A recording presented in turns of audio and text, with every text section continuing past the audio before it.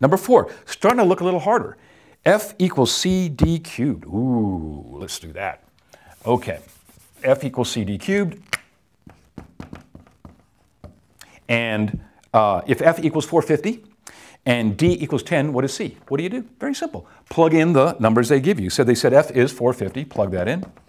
What do they say C was? Um, well, we're looking for C. What do they say D was? 10.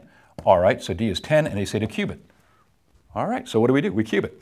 So 450 equals 10 cubed is 1,000. C, right? 1,000 times C. And now we want to solve for C, so we divide by 1,000. And that's your answer. Hopefully you recognize, well, use your calculator if you want, um, but hopefully you'll recognize that as 0.450 or just 0.45. And um, that's the answer, F. Just a simple little arithmetic question. Uh, could a second grader do it? I don't know if a second grader knows how to cube things yet, but if the teacher told them just multiply by itself three times, they go, okay, 10 times 10 times 10, they can do it. It's a simple little arithmetic question. Um, but again, it's made to look hard, right, to the average student. Um, very, very simple stuff. By the way, I mentioned the calculator. You can use a calculator on the ACT, um, but you don't need it. The test was designed to be taken without calculators. You weren't allowed to use calculators on the ACT until 1997. What's that, 23 years ago? Uh, and I was teaching the ACT long before that.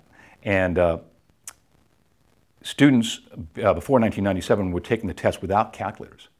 And, you, and they haven't changed the test at all since then. So you're taking essentially the same test with calculators that students just like you 23 years ago were taken without calculators. So the calculator's fine, use it, you know, obviously it's helpful. You probably think you need it, you don't need it. Um, I'm telling you this uh, so that you don't feel like you're a slave to your calculator. Um, and also, you know, for example, if you forget your calculator on the way to the test or the batteries die or you drop it and it breaks, you don't need the calculator. You'd be fine without it, okay? It's not a calculator test.